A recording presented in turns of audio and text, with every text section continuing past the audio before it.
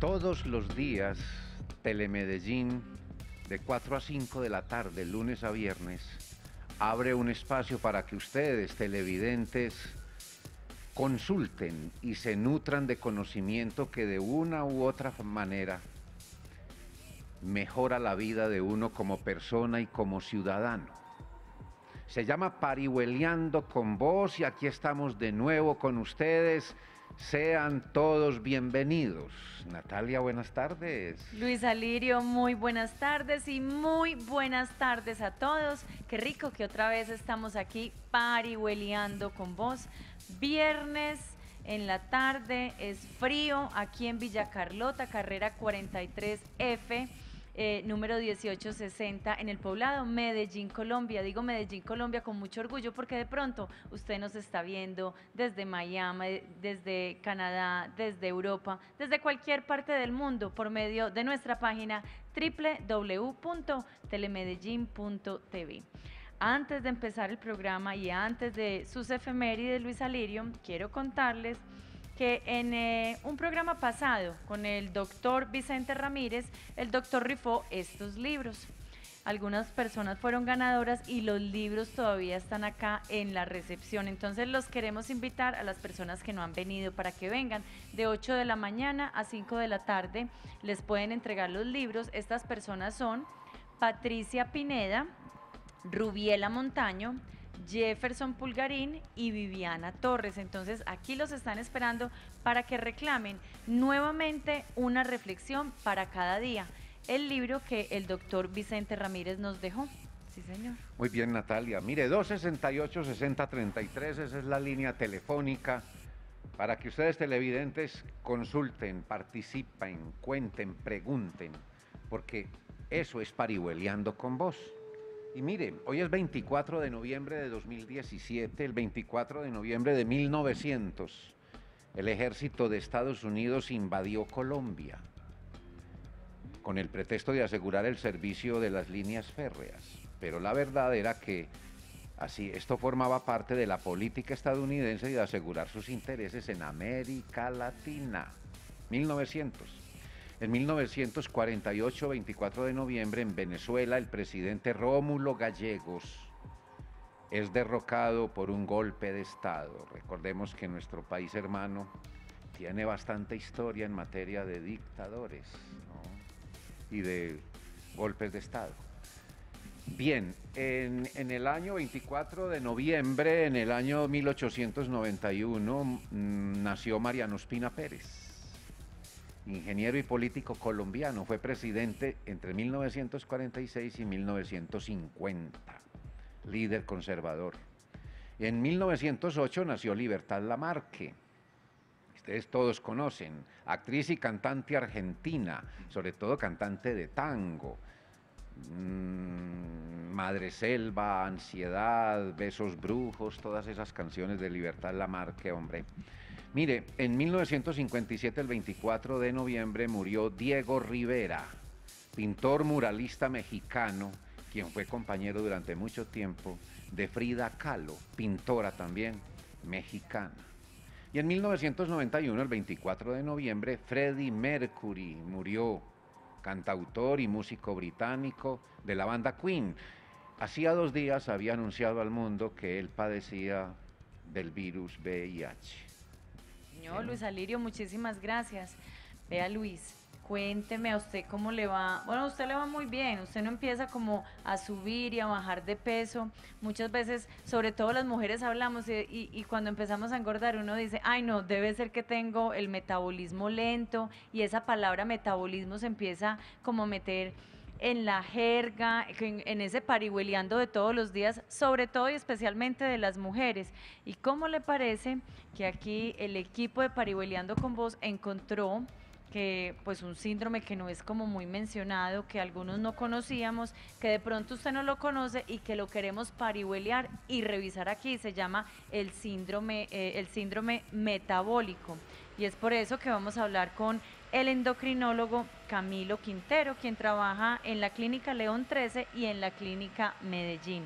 Usted quería Usted me está haciendo como señita Luis. No, mire, el, síndrome metabólico, el metabolismo viene de, de, dos raíces griegas. Metabole, que significa cambio, y cualidad.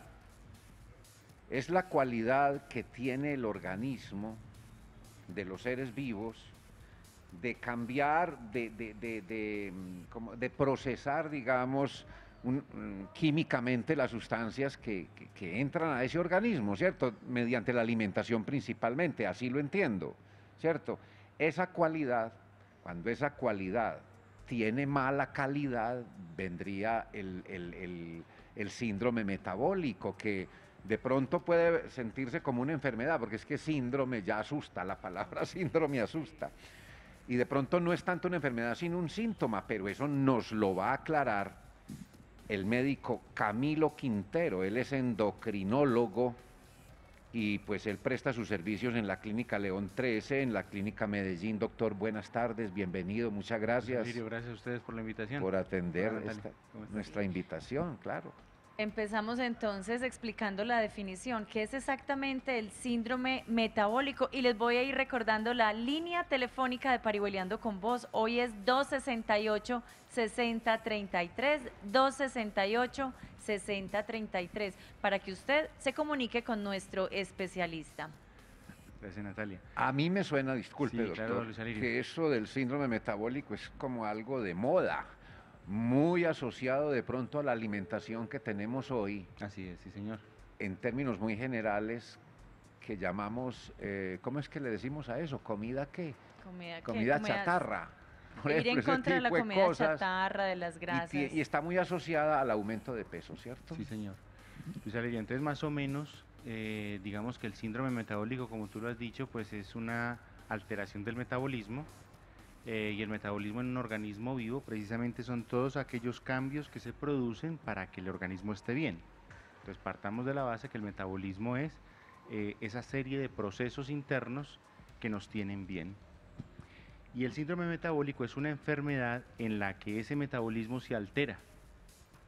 Ahora, el metabolismo, digamos que es un término bastante genérico, pero las personas que estudiaron este problema, el síndrome metabólico, lo acuñaron para hablar de una entidad médica en la que confluyen varias cosas que ahorita ya veremos y que finalmente hacen que la persona esté enferma.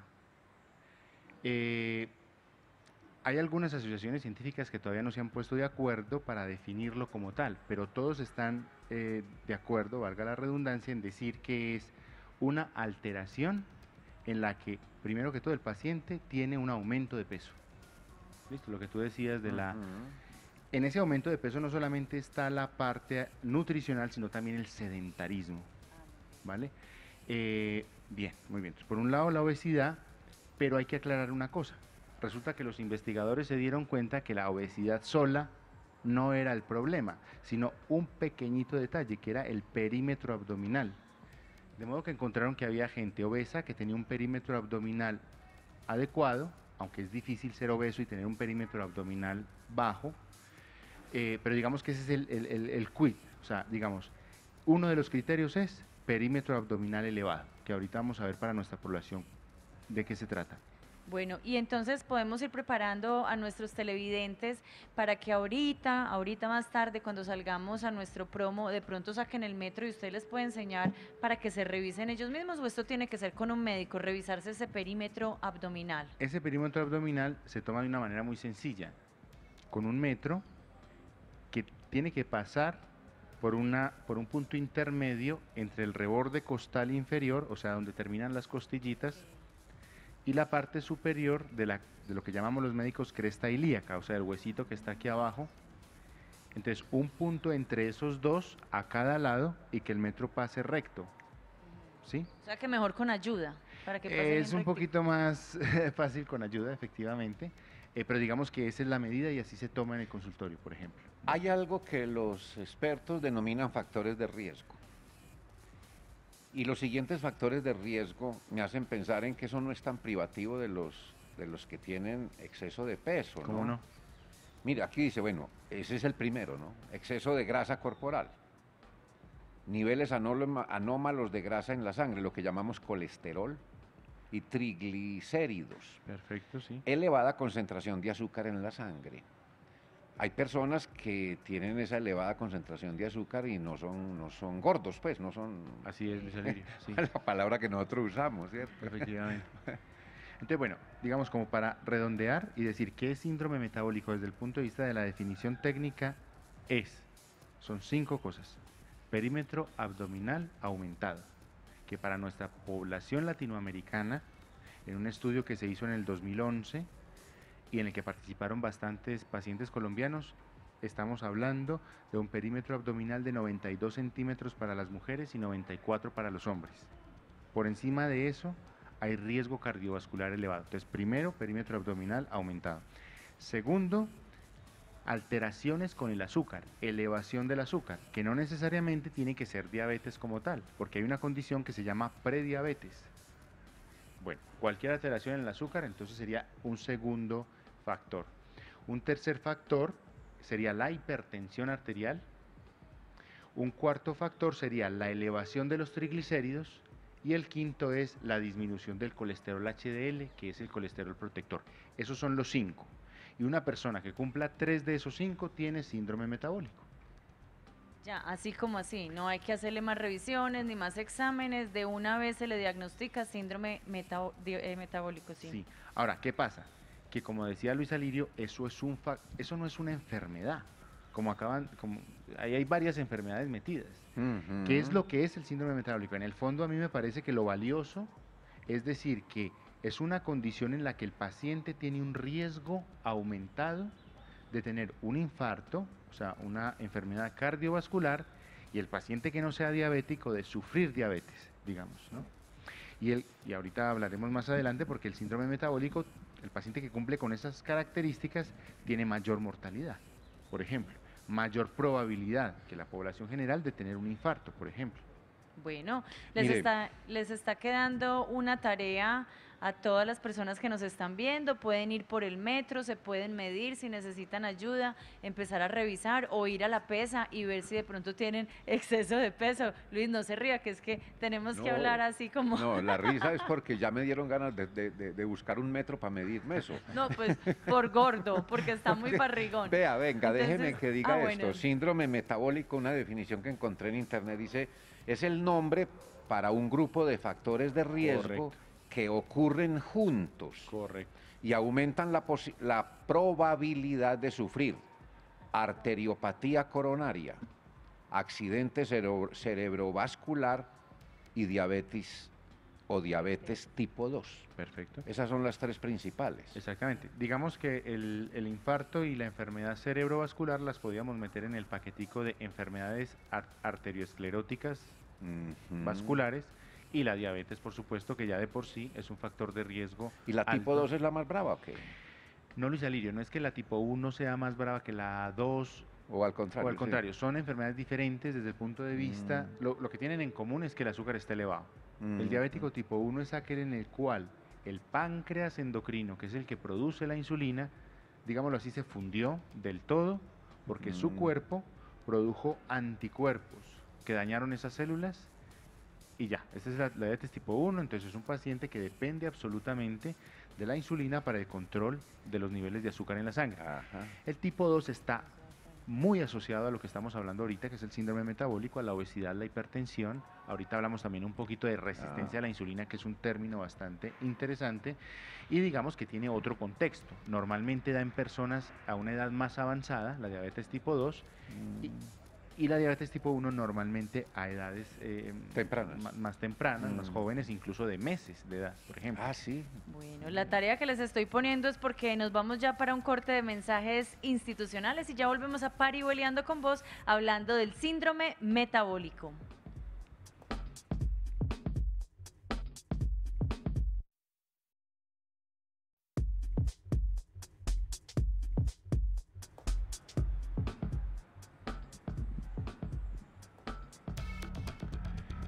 Estamos en Parihueleando con vos esta tarde de hoy, viernes 24 de noviembre, conversando sobre el síndrome metabólico con el médico endocrinólogo Camilo Quintero.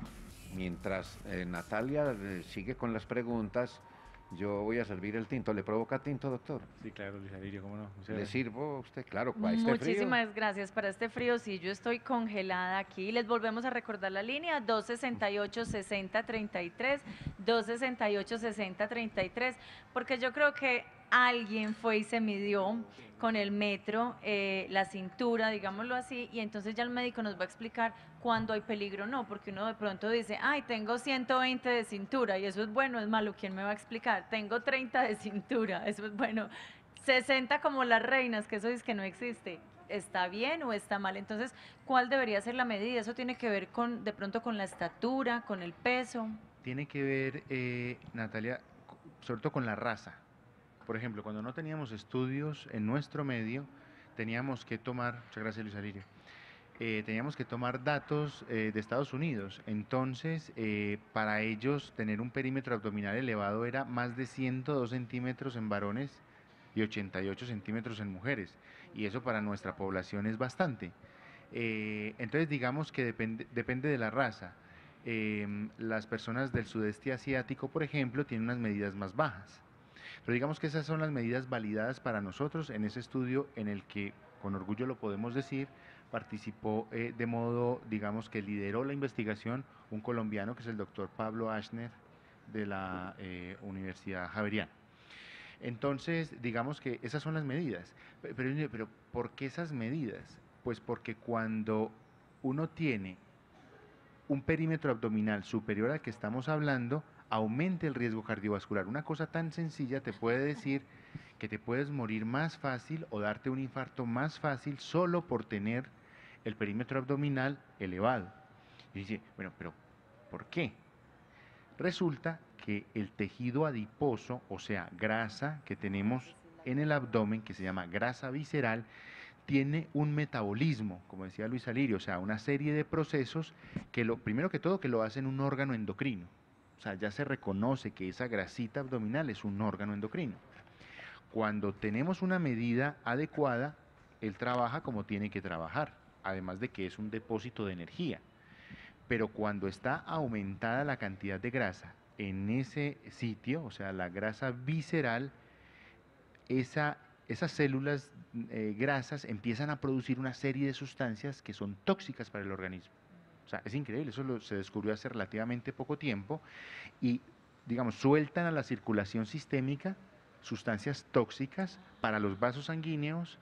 Eh, esa es la hipótesis de por qué hay más infartos y hay más riesgo cardiovascular en las personas que tienen un perímetro abdominal aumentado. Y hay otra cosa que también es importante que los televidentes también pueden ver en, en, sus casas si tienen o no. Y es lo siguiente, esa grasita se asocia con una cosa que llamamos resistencia a la insulina. ¿Eso qué quiere decir? Que la insulina que tenemos, recordemos que la insulina es la hormona que hace que el azúcar no se suba, que el azúcar que está en la sangre entre a las células para que las células puedan funcionar, porque esa es la energía de las células. Pues bien, cuando hay síndrome metabólico, esa insulina no funciona bien. Y el páncreas es dele que dele, produciendo más insulina, porque ¿cómo así que se nos está subiendo el azúcar? Y eso produce un signo semiológico muy fácil de ver que se llama la acantosis nigricans, que es cuando la persona tiene el cuello o los pliegues, que pueden ser el pliegue axilar o el pliegue eh, inguinal, con una coloración oscura, por ejemplo. Sí, señor. Nos disculpa un momento, por favor, Luis Alirio, porque tenemos una llamada desde Canadá. Muy buenas tardes, parihueleando con vos. Nos dice su nombre, por favor.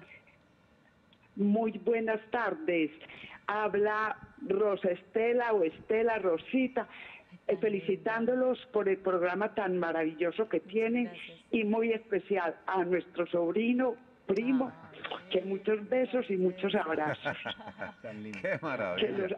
Que lo, amo con todo mi corazón. Ay, Rosita, y usted se midió, perdón, doctor, usted se midió de pronto la grasa abdominal, ¿cómo está? ¿Está bien? ¿Está aliviadita? 87. Ah, no, está, muy bien. pasó, pasó mi tía. Bueno, doña Muy Rosita, bien. ¿y usted le quiere preguntar algo a su sobrino, un endocrinólogo muy bueno que tenemos aquí en la ciudad de Medellín? Tiene toda la razón en felicitarlo.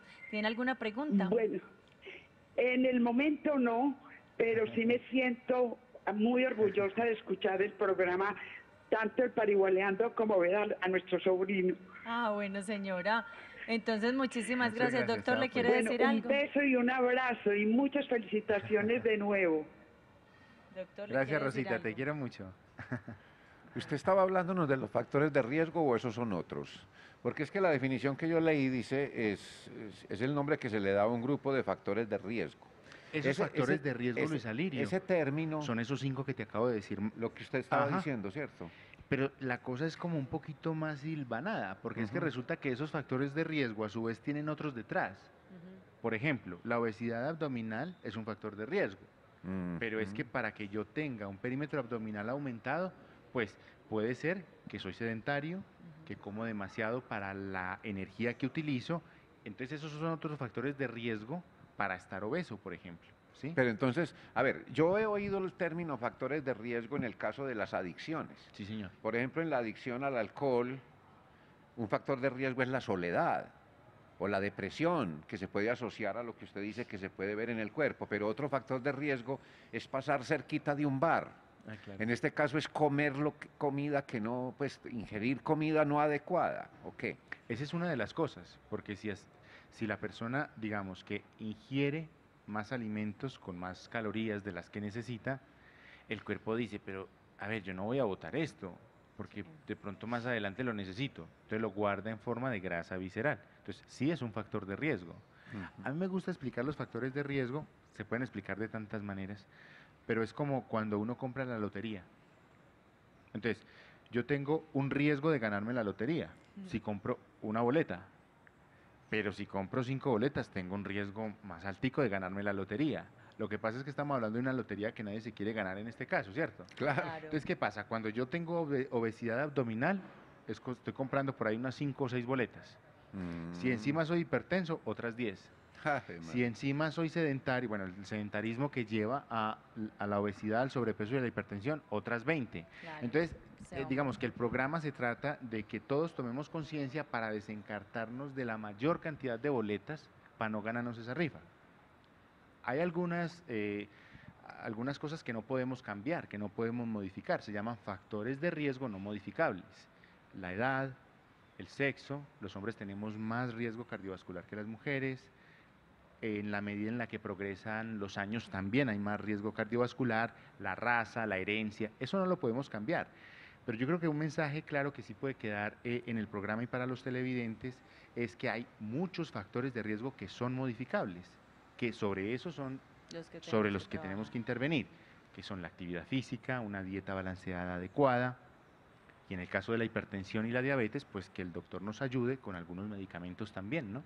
Doctor, yo no sé si le entendí bien. Cuando usted habla entonces de esta grasa abdominal, usted dijo que habían toxinas que se podían ir incluso al cerebro. Entonces, para esto, ¿le recomiendan a uno desintoxicar el cuerpo? Porque se habla mucho como de dietas de desintoxicación, ¿o qué es lo que se recomienda? Bueno, desde el punto de vista de la medicina tradicional, que eh, es la que yo practico y la que estudiamos, eh, digamos, en la universidad tradicionalmente, los, eh, las publicaciones internacionales, eh, digamos que estamos hablando de unas sustancias que se llaman inflamatorias o proinflamatorias, que una manera chévere de entenderlas es pensar que es una toxina, que es una cosa que te intoxica, pero son sustancias que promueven la inflamación en todos los vasos sanguíneos del cuerpo y en general en todo el organismo. Y esa inflamación, eh, cuando hablo de inflamación, aquí no me estoy refiriendo cuando uno se pega un golpe y se inflama pues el, eh, un huesito, o- sino que es un término, es un concepto como más, eh, digamos, más molecular, llamémoslo así, a pesar de que parece como un poco complejo, pero lo que tenemos que entender es que son sustancias que ayudan a que las arterias se tapen. Y es, y es una cosa tremenda porque hay unas células que si uno tiene el perímetro abdominal aumentado, funcionan de una manera. Y esas mismas células, cuando uno baja de peso, funcionan de otra. Y no solamente no producen esas sustancias dañinas, sino que antes nos protegen. Entonces, eh, como que la grasa visceral eh, nos dijera, trátame bien, o sea, eh, ten, un estilo de vida adecuado para que tú seas una persona saludable, de alguna manera.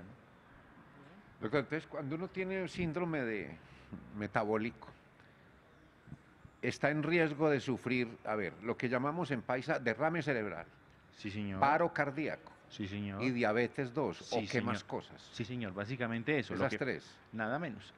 Nada menos, por que, Dios. que pues, son, que digamos que dan cuenta eh, importante de la mortalidad en nuestra sociedad, eh, en el mundo moderno. ¿sí? Que, que la muerte el mayor número de muertes hoy en día. No estamos hablando de cáncer, que Sí. la obesidad También. aumenta ciertos tipos de cáncer. ¿Y qué tanto contribuye a eso, eh, por ejemplo, el cigarrillo, el alcohol, el consumo de alucinógenos? Muy buena El pregunta, Luis café. Alillo, Muy buen- No, el, el café déjeme lo quietico, que es muy bueno. Pero, eh, muy buena pregunta, porque es que, ¿qué pasa? ¿Cuál es el tratamiento del síndrome metabólico? Si estamos diciendo que son una, una serie de condiciones que cuando se juntan me llevan a tener mayor riesgo cardiovascular, el tratamiento es quitar otros factores de riesgo cardiovascular que son los que tú has mencionado. Entonces, claro, una persona que tiene síndrome metabólico y fuma, volviendo a la comparación de la lotería, es comprarse 50 boletas más. Ay, Dios. Sí, entonces tú tienes que des- desencártate de las boletas. O sea, entonces toca dejar el cigarrillo, eh, hacer actividad física, eh, tener una dieta balanceada. O sea que Mm. estamos hablando de una vida sana, saludable, que de eso hablamos mucho aquí en Parihueliando con vos. Y vos has estado muy callado, nuestra línea telefónica 268-6033, para que sigamos parihueliando del síndrome metabólico. Ya volvemos después de esta pausa.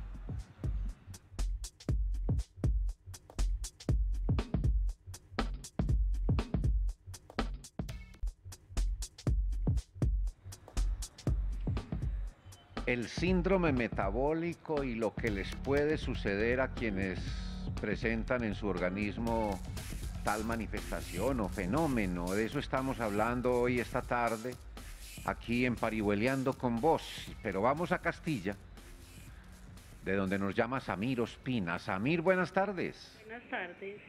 Adelante, Parihueliando con vos.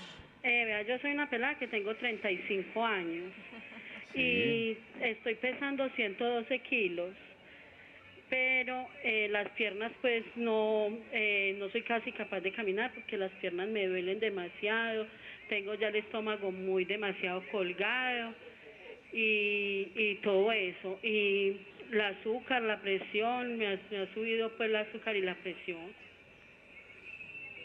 Entonces, Estás preguntando si de pronto tienes el síndrome o... o- Tengo, sí, yo creo que yo, porque yo estoy con obesidad mórbida. Y su pregunta, Samir, ¿esa es concretamente cuál? Eh, lo que usted me acaba, lo que acabo de decir de lo de la... Usted quiere saber si tiene el síndrome Sí. metabólico. Sí, Bien, Samir Ospina, en Castilla. Doctor Camilo. Bueno, Samir, entonces sí, con los datos que nos has dado, efectivamente, pues digamos que eso configuraría el síndrome metabólico. Tienes una ventaja muy grande y es que eres una persona joven, de modo que pues eh, tienes la capacidad de em, empezar a generar ciertos cambios en los hábitos de vida, en los hábitos alimenticios, también en la actividad física.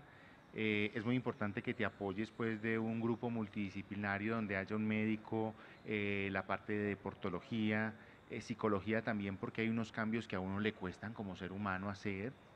Em, bien, pero entonces sí, tendrías ese síndrome. Entonces, ¿qué pasa? La idea es que no dejar que estas cosas progresen para que las consecuencias negativas de las que estábamos hablando ahorita, pues no se, van, no se vayan a presentar más adelante.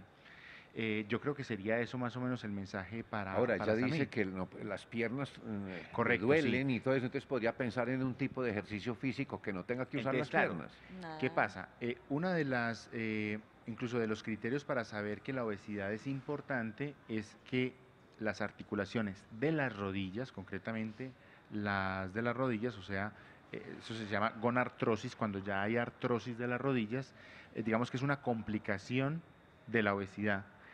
Y en algunos casos, precisamente, esa complicación le lleva a uno a pensar que tiene que ser un poquito más eh, estricto en el tratamiento porque el paciente necesita mejorar más rápidamente. Hay varias estrategias. Entonces, digamos, lo que decíamos ahorita de la parte de psicología, de deportología, porque hay que intentarlo. También hay algunas ayudas farmacológicas, hay algunos medicamentos que pueden ayudar para reducir el peso, pero a mí me gusta mucho decirle al paciente y transmitir el mensaje de que las cosas se van a poner bien porque el paciente es capaz de mejorar él. Y los medicamentos son una ayuda que en el caso particular, pues de Samir no le podemos dar un consejo en este momento porque no conocemos otros aspectos de la historia clínica, pero que tu médico te podrá decir eh, con un poco eh, eh, mayor de precisión, pero que definitivamente, digamos, es una ayuda. Pero lo más importante es el esfuerzo que ponga el paciente. yo creo que básicamente eso. Ya cuando la obesidad es mórbida, y definitivamente vemos que no hay respuesta a los medicamentos y a los cambios en los hábitos nutricionales, pues entonces ya tendríamos que ser un poquito más agresivos y pensar en otro tipo de medidas como la cirugía. Pero son cosas que uno trata de dejar eh, como última alternativa, eh, pero que si se necesita también es, una, eh, es algo que hay que hacer, porque también es un elemento que tenemos como parte de la terapia de la obesidad y lógicamente si mejora la obesidad, mejora todo el síndrome metabólico.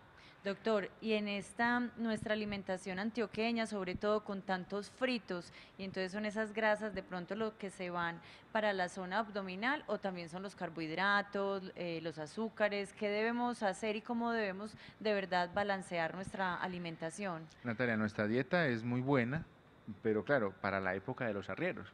Entonces, claro, una bandeja paisa había que comérsela, porque es que después había que salir a jornalear y la persona se quemaba la bandeja paisa. Y largas jornadas de, de, una, mulada, ¿no? Correcto. Mm. ahora nos estamos comiendo la bandeja paisa, que es sabrosísima, pero ya no hacemos esa actividad física, entonces ya no la estamos quemando. Entonces el cuerpo, esto es una cosa que es como muy de, de supervivencia. Cuando al organismo le sobra energía, ya sea que venga de los carbohidratos, las grasas o las proteínas, el cuerpo dice, yo esto no lo desperdicio, hombre, porque qué tal que mañana no haya comida. Entonces lo voy a guardar. ¿Y cómo lo guarda? El cuerpo guarda ese exceso de energía en forma de grasa, y en concreto de grasa visceral principalmente. ¿Y cuántas eh, porciones de grasa? Por ejemplo, si vamos a comer hoy patacones, maduros, fritos, entonces, ¿cuántas al día deberíamos comer? ¿O eso es dependiendo de cada persona? Dependiendo de cada persona, dependiendo de la actividad física que haga, por eso es muy bueno también, se me olvidaba decirle a, Samir también la parte con nutrición, o sea, la, la valoración nutricional por nutrición para que se sienten y en plata blanca hablen, bueno, qué hay en tu casa y de eso que hay, qué te vas a comer, porque cada persona necesita una dieta diferente.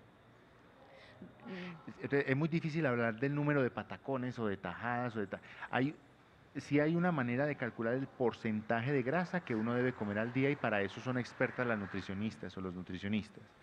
Em, bien, eh, sería, sería como eso. Y ya luego, ya es otro tema, pero hay distintos tipos de grasas. Por ejemplo, la grasa del maní es una grasa buena y saludable porque tenemos que comer grasas. Y las grasas de un frito o del mecato que llamamos, eh, muchas veces tiene grasas trans que son, no son saludables para la salud, por ejemplo. Doctor, usted mencionó, el, el, puso el ejemplo del arriero, del tiempo de los arrieros, la bandeja paisa pues era necesaria.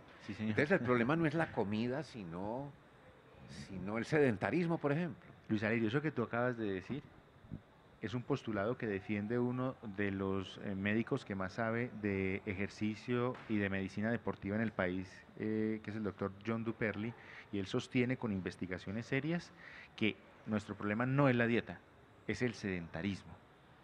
Entonces, para recordarles, para el sedentarismo, tenemos también eh, el INDER aquí en Medellín. Vamos a la página, recordemos que tenemos canchas sintéticas, canchas para jugar fútbol, básquetbol, piscinas. No nos tenemos que quedar en nuestra casa, también está el programa Canas al Aire. Entonces, tenemos medios para hacer ejercicio y si no, una caminadita, 20 minuticos alrededor de nuestro barrio. Y tenemos una llamada desde Manrique. ¿Usted camina en Manrique o hace algún deporte, doña María Gil? Muy buenas tardes. Sí, con vos. Mm, gracias para felicitarlos por ese maravilloso programa que nos da tantos aportes. Tan linda. Muchas gracias. Gracias, Adelante. doña María. Sí, mi pregunta es que yo tengo un adolescente de 16 años y de estatura lo veo muy bajito, mide 1,57. Igual pues los papás no somos muy altos, pero no le veo tampoco ningún desarrollo físico para la edad. Se ve como un niño de 13, 14 años. Yo lo he llevado con médico general, me dice que está normal, pero quiero saber pues que el especialista me dé como otros puntos para saber desde dónde es normal o no.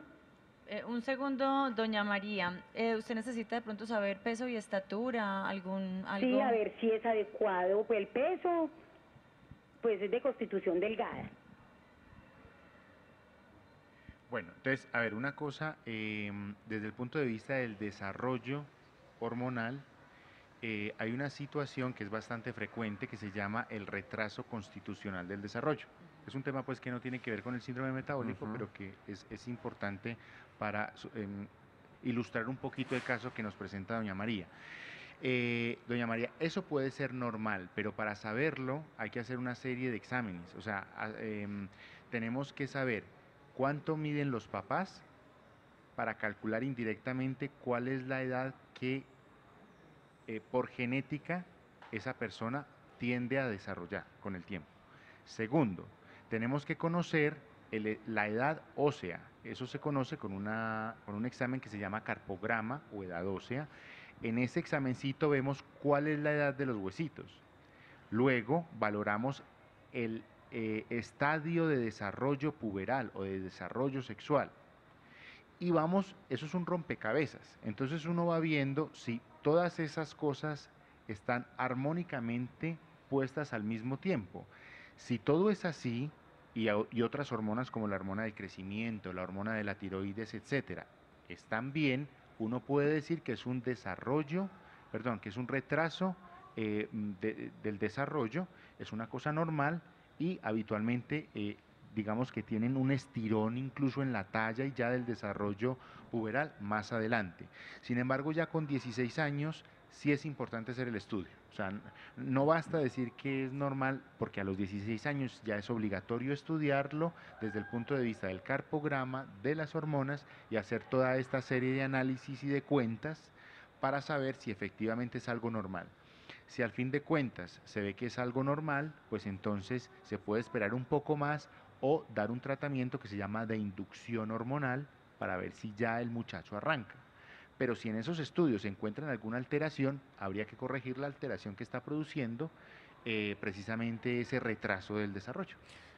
Doctor, siguiendo con el mm, síndrome metabólico, si el problema no es tanto la comida, sino el sedentarismo, ¿en qué queda aquella advertencia eh, hipocrática que manda que, que sea tu alimento tu medicina? Eso es verdad, eso es una muy buena frase y es verdad. Eh, yo digo una cosa, Luis Arillo, yo, yo aquí pongo, es que eh, la comida no es el problema, pero también es el problema. ¿Cómo así? Si yo tengo un carro que saco todos los días y todo el tiempo lo estoy moviendo, pues le tengo que estar echando gasolina con mucha frecuencia. Pero si yo lo tengo parqueado una semana, ¿por qué gracia voy a ir a la estación de servicio a seguir echando gasolina si tiene el tanque lleno? Nosotros desafortunadamente pues hacemos eso. Si quemamos mucha o poca energía, igual comemos lo mismo y eh, pues comemos un poquito también por los ojos. Eso es muy normal y es muy humano. Eh, de modo tal que eh, la comida sí es importante, pero como para resumir la cosa diríamos, es adecuar la comida a la actividad física que yo estoy desarrollando. Eso por un lado. Por el otro está bastante demostrado con un estudio muy lindo en el que la actividad física disminuye los infartos y la muerte cardiovascular. Y permíteme, Luis Arillo, te cuento así rápidamente. Es un estudio en el que cogieron personas gorditas y personas flaquitas. En ese grupo heterogéneo había gente que hacía ejercicio y había gente sedentaria, tanto en los gorditos como en los flaquitos. Y resulta que a las personas gorditas que a pesar de hacer ejercicio no bajaban de peso, tenían menos muertes cardiovasculares y menos enfermedad cardiovascular que los flacos sedentarios. ¿Cómo le parece? Ah. Entonces eso es una pista muy importante que le lleva a uno a pensar, es que el problema no solamente es la gordura, la obesidad y la dieta, es la actividad física. Pero tú tienes razón, o sea, la dieta es fundamental, porque es lo que, o sea, es, digamos, la, gasolina en el ejemplo que pusimos anteriormente, y pues todo, sí, sí, la comida puede ser muy buena, pero si, si, si sigo alimentándome sin necesitarlo, pues entonces ahí ya hay una alteración.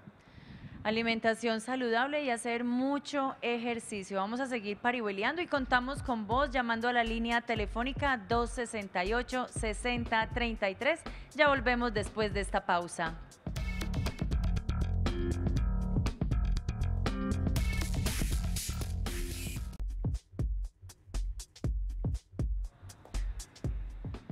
Esto es Parihueleando con vos en Telemedellín, 20 años con vos. Y vamos al departamento del Quindío, a su capital Armenia. De allá nos llama Germán Ospina. Germán, buenas tardes. Bienvenido. Buenas tardes, ¿cómo están? Bien, ¿y usted, hombre, Germán? Bien, hombre, vea lo siguiente. Muy interesante el programa y quiero consultarle esto al doctor. Yo tengo 55 años. Estoy pesando 98 kilos. Y tengo, pues no sé si es el síndrome, pero pues voy a hacer la consulta he venido presentando un dolor a la altura del estómago, pero no dolor, dolor, sino como una llenura.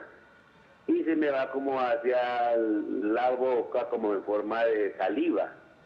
Me, he preocupado y yo trabajo en el Chocó y me vine aquí para una hermana y fui al médico ayer y me tomaron un electro y eso y aparezco todo bien.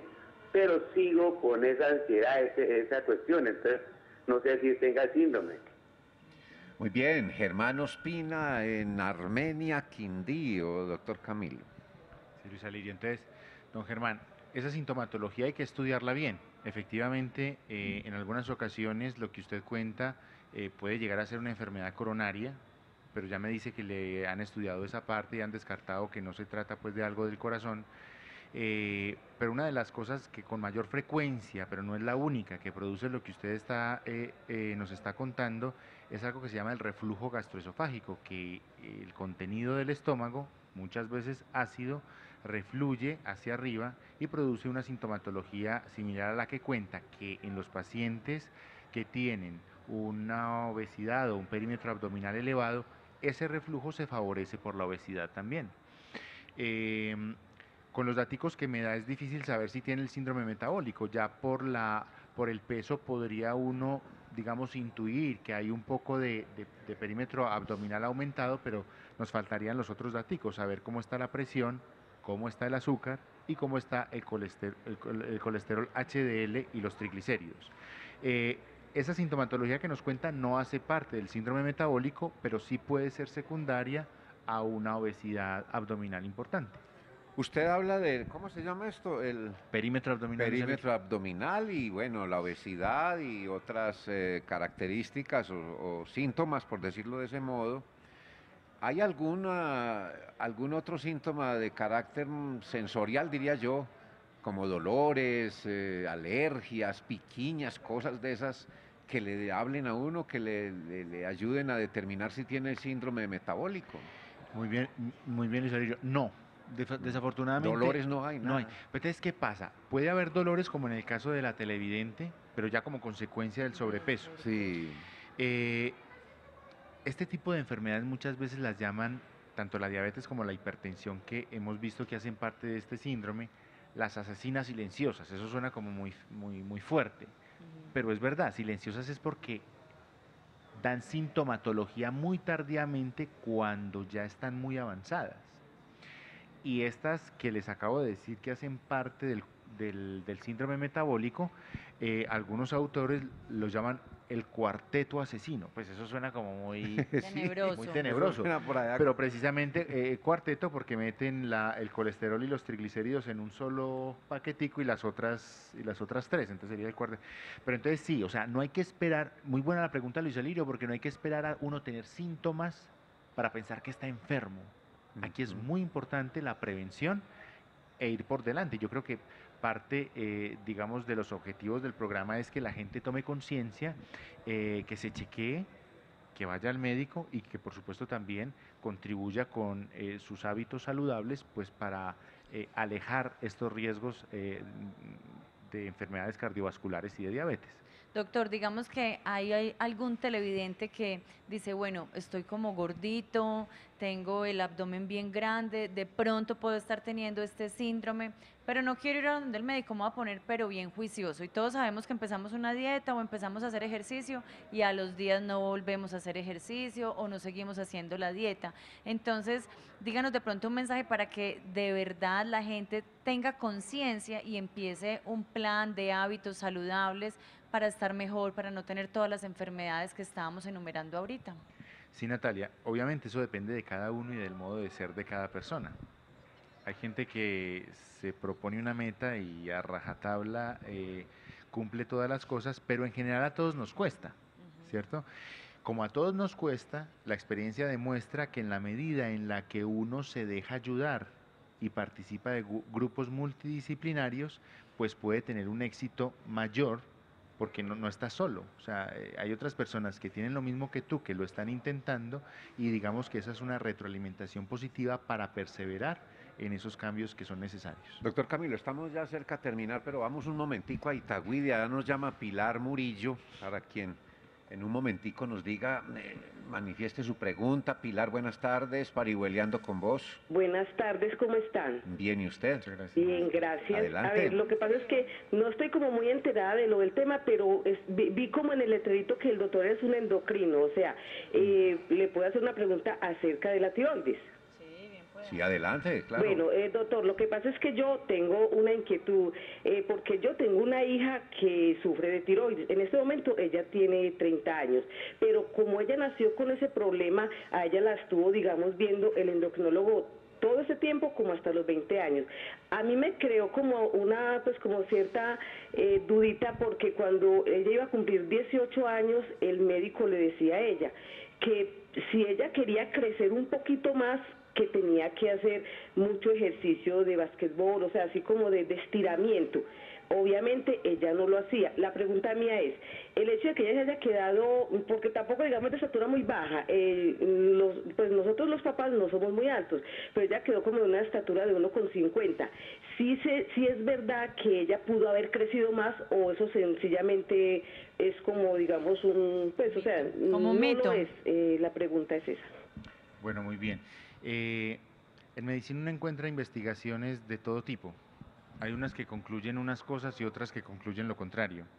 Entonces uno tiene que pegarse es un poco de qué tan bien hecha estuvo la investigación que demostró una cosa u otra. Y hay una herramienta que se llaman los metaanálisis, que cogen muchas investigaciones como si fueran una sola para ver para qué lado van las cosas pero eh, definitivamente eh, hay pocas cosas que han demostrado que aumenten la talla. Estoy hablando, eh, no estoy hablando de enfermedades, porque si uno tiene un hipotiroidismo, obviamente tiene que, como en el caso de, la paciente que nos cuentan, tiene que tener una suficiente suplencia de hormona tiroidea para crecer adecuadamente en el tiempo en que está creciendo. Pero si estamos hablando sola de una persona sana, con una alimentación adecuada, la actividad física mejora, pero no te va a dar una talla más alta de la que uno genéticamente ya está programado a tener. Y quedarse quieto tampoco está demostrado científicamente que lleve a una talla más baja. O sea, digamos que ayuda, pero tranquila que la talla que tiene ahorita no es porque dejó de hacer ejercicio. Digamos que sería como el mensaje. Doctor, finalmente, ya terminando. Don Luis, deme un segundo para dar una información antes de que se nos acabe el tiempo. Antes de despedirnos, mañana 25 de noviembre es la jornada, van a hacer una jornada donde los oftalmólogos se unen para hacer una jornada gratuita y revisarlos para no tener retinopatía diabética. Es en el Hospital San Vicente Fundación. Entonces, por favor, Hemos hablado mucho de retinopatía diabética para que vayan y se hagan los exámenes. Luis Alirio. No, quiere decir que, bueno, finalmente el síndrome metabólico nos pone al borde eh, de, de- de enfermedades graves, ¿cierto? Derrame cerebral, infarto, eh, diabetes, do- dos. La, la recomendación final entonces y general es bastante ejercicio, buena alimentación, nada de cigarrillo, por ejemplo, cafecito, sí. Sí, señor. Sí, yo creo que todo eso lo englobaríamos en un estilos de vida saludable. Sí. que a todos nos van bien, independientemente de tener o no el síndrome metabólico. Licor nada. Eh, un poquito, pero eso es un tema un poquito ya más largo y Sí, más controvertido.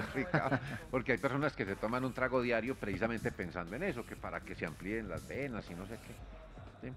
¿Listo? Ya terminamos, Natalia. Listo. Muchísimas gracias por estar con nosotros. Nos vemos el lunes en Parihueleando con vos. Quédese aquí en Telemedellín, 20 años con vos.